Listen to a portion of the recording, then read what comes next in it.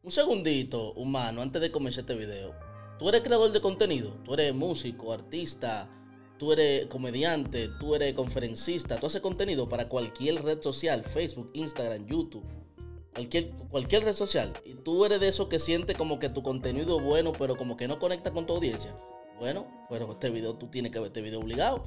Porque yo he diseñado un curso que te va a ayudar a conectar con tu audiencia, no importa desde qué red social lo hagas. Te voy a enseñar lo que los algoritmos interpretan en las redes sociales como contenido de calidad. Te voy a explicar y te voy a enseñar cómo se vende el contenido, cómo yo hago que el contenido sea interesante para mi audiencia. Y sobre todo, y lo más importante, te voy a enseñar a que puedas usar los algoritmos a tu favor y no en tu contra. El desconocer cómo funcionan los algoritmos te puede hacer una mala jugada. Te voy a enseñar todo esto en un curso que he diseñado para ti. Si quieres más información, escríbenos al número que aparece en el video ahora mismo.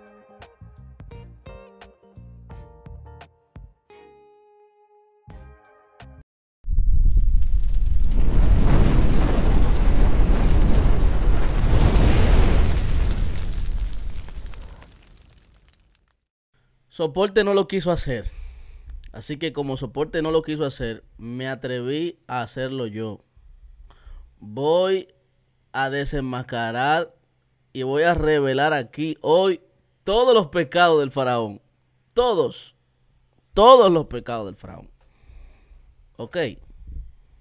Desde los más dóciles hasta los más oscuros. Todo lo que se me fue todo. Por favor, no me llamen a mi teléfono. De que no haga eso, no debiste, ni me mande mensaje. Estoy cansado ya y me propuse mostrarle al mundo los pecados ocultos del faraón. El primer pecado del faraón, para que vayamos entrando de una vez al fogarate, es que el faraón ha creado una secta religiosa en base a una herejía. Al faraón le dijeron, le preguntaron, él dijo que, que no, que todo, todo apóstata, que esta gente que está en herejía en una entrevista. Y cuando el entrevistador le preguntó, ¿y qué es herejía? se volvió gago el faraón. Comenzó a gaguear, se volvió loco porque el tipo no sabe ni siquiera qué significan las palabras que él dice. Ni eso él lo sabe. Así que antes que nada, vamos a comenzar diciendo que el principal y primer pecado y más grave pecado de todos los pecados del faraón es que el faraón es un hereje. El faraón tiene una herejía, enseña y comunica una herejía, una herejía. Y para esto vamos a demostrarlo y a mostrarlo por las escrituras. En la Biblia, ¿qué es un hereje? Ojo, al final de este video voy a mostrar. Ay, Dios mío. Me da tan frío en el corazón, pero lo voy a hacer. Voy a mostrar un video del pecado más oculto que tiene el faraón. Lo voy a mostrar. Lo tengo en video grabado. Lo tengo en video. No, no le estoy mintiendo, no es clickbait. Estoy hablando en serio. Estoy hablando en serio. Estoy hablando en serio. Y lo voy a mostrar aquí en este video. Pero primero vamos a ver lo que en la Biblia significa la palabra herejía. Ustedes saben que la Biblia habla de las obras de las carnes en Gratas capítulo 5, ¿verdad? Vamos a buscarlo aquí. Eh, Galatas 5, vamos a ver. Aquí, aquí tiene que estar. Reina Valera. Aquí tiene que estar, aquí tiene que estar. Eh, déjame ver, aquí. Las obras de, de, la carne y el fruto del espíritu. oiga esto, oiga esto. Vamos a leer aquí lo que dice aquí. Miren esto. Digo pues, andad en el espíritu y no satisfagáis los deseos de la carne, porque el deseo de la carne es contra el espíritu, y del espíritu es contra la carne, y estos se oponen entre sí, para que no hagáis lo que queréis, porque si sois guiados por el... Ah, también cómoda leer como Reina Valera, mano, porque que son... Déjame hay otra versión. Otra versión que... Eh, la palabra... Vamos a ver Reina Valera actualizada, contemporánea. Vamos a ver. Porque de verdad me incomoda ese sois, voice, toys, toda esa cosa. Vamos de nuevo. Pero si son guiados por el Espíritu, no están ya sujetos a la ley. Dice el 19. Las obras de la carne se manifiestan en adulterio, fornicación, inmundicia, lascivia, idolatría, hechicería, enemistades, pleitos, contiendas, iras, contiendas, iras, disensiones, herejías. Aquí está la palabra que buscábamos, la palabra herejía, familia. Herejía. La palabra que se usa ahí en el texto, en ese texto, eh, para herejía es una palabra griega que la vamos a ver y la vamos a confirmar aquí mismo en vivo para que usted vea que aquí no estamos haciendo mueca. La palabra que se usa ahí en el griego, en el texto griego, es esta palabra que está aquí. Aquí está el texto en griego. Aquí en pantalla yo le estoy mostrando el texto en griego. ¿Ok? Déjame ver si lo puedo hacer directamente con, con esta pantalla. Déjame ver. Ok, si lo puedo hacer con esta pantalla. Bien, pues lo voy a hacer con esta pantalla para que ustedes lo vean bien. Ustedes ven que aquí dice, ¿verdad? Herejía. Aquí la palabra herejía. Lo que pasa es que ahora yo soy yo el que no puedo ver eh, la, la, la, la, palabra. Pero bueno, déjame ver. Uy, qué batalla. No, no, no. Tengo que quitar esta pantalla obligatoriamente para poder hacerlo. Tengo que hacerlo con esta obligado. Pero está bien, miren. La palabra herejía es esa que al lado tiene un 139. Ese 139 que aparece ahí, esa palabra que aparece ahí que al lado con un 139, es esta palabra que está aquí. Es la palabra jairesis. Y ahí está. Mire la, referencia 139 aquí arriba también donde lo dice. ¿Verdad? Y es la misma palabra. Si usted ve la imagen que está en griego aquí en el, cuadro que está eh, a su a su a su derecha, a la derecha, a la derecha suya, es esta, que sería mi izquierda. Eh, si usted ve el dibujo que está arriba en griego, que es la, escritura, es el mismo, el, mismo que está aquí al lado de la 139. Es decir, que es exactamente la misma palabra que se está usando en el texto. Y según la concordancia Strong, esta palabra se define por elección alternativa.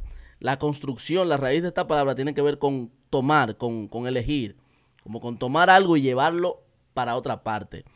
En el contexto bíblico, el término herejía es usado específicamente para referirse a sectas religiosas, es decir, a personas que se separan de la fe para eh, crear movimientos independientes de los fundamentos de la fe. ¿Me doy a entender? O sea, estoy hablando con claridad.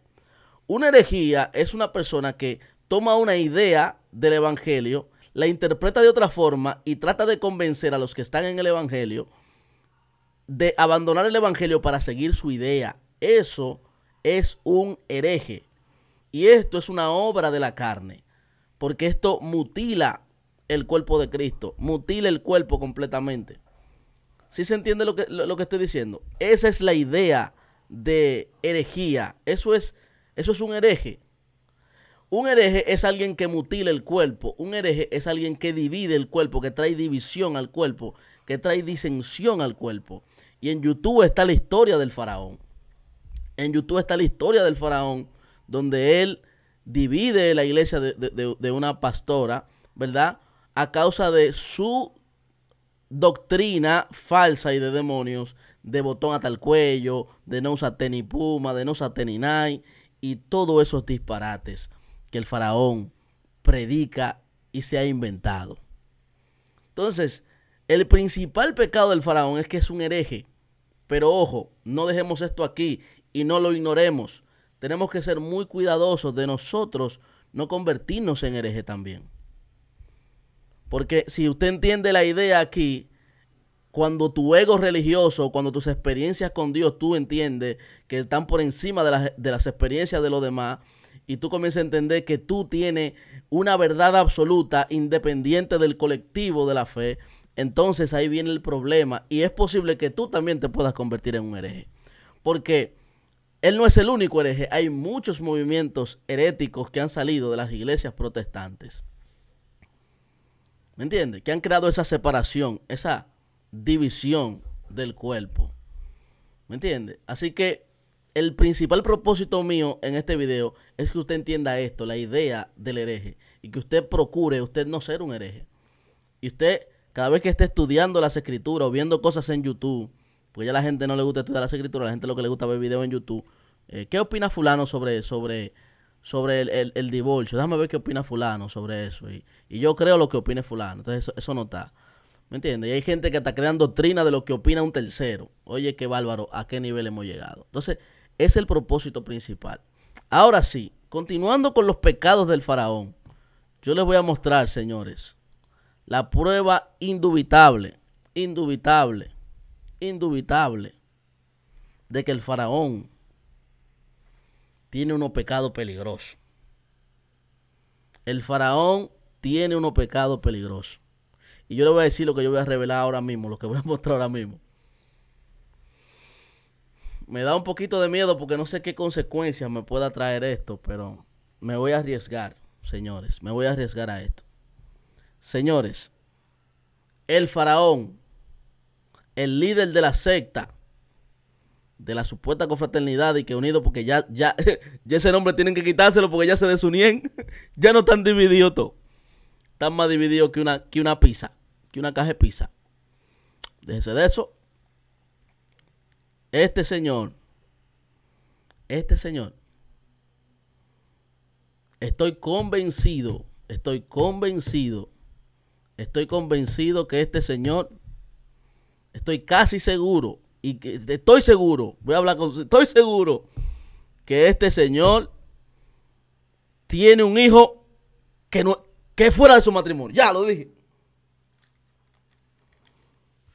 Sí, estoy convencido, porque no hay otra forma posible, señores. No hay otra forma posible, no hay otra. Y miren esto, y le voy a mostrar el video aquí para que usted lo vea. Y usted me va a decir si no. Usted me va a decir si no. Mírelo, mírelo usted mismo con sus ojos. Mírelo usted mismo con sus ojos.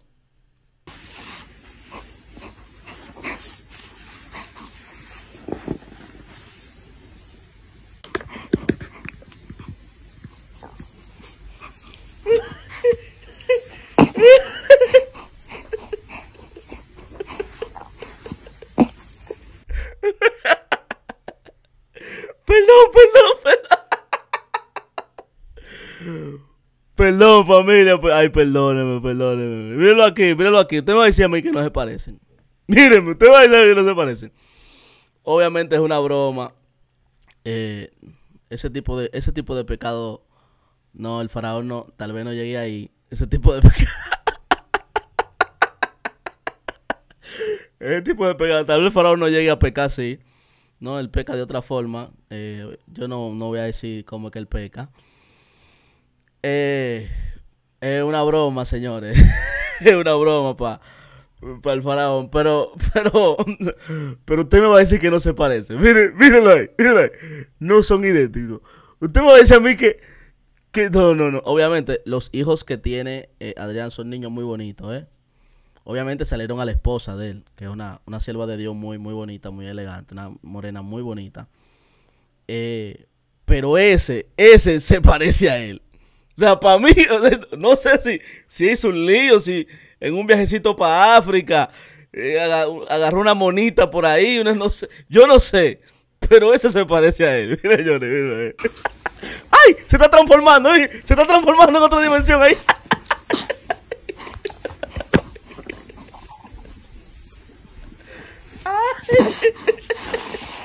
usted, va a decir, usted me va a decir que no se parecen. mira, mira de la nariz, mira, mira, mira, mira. Los ojos, el color de los ojos, mira, son igualitos. Son igualitos.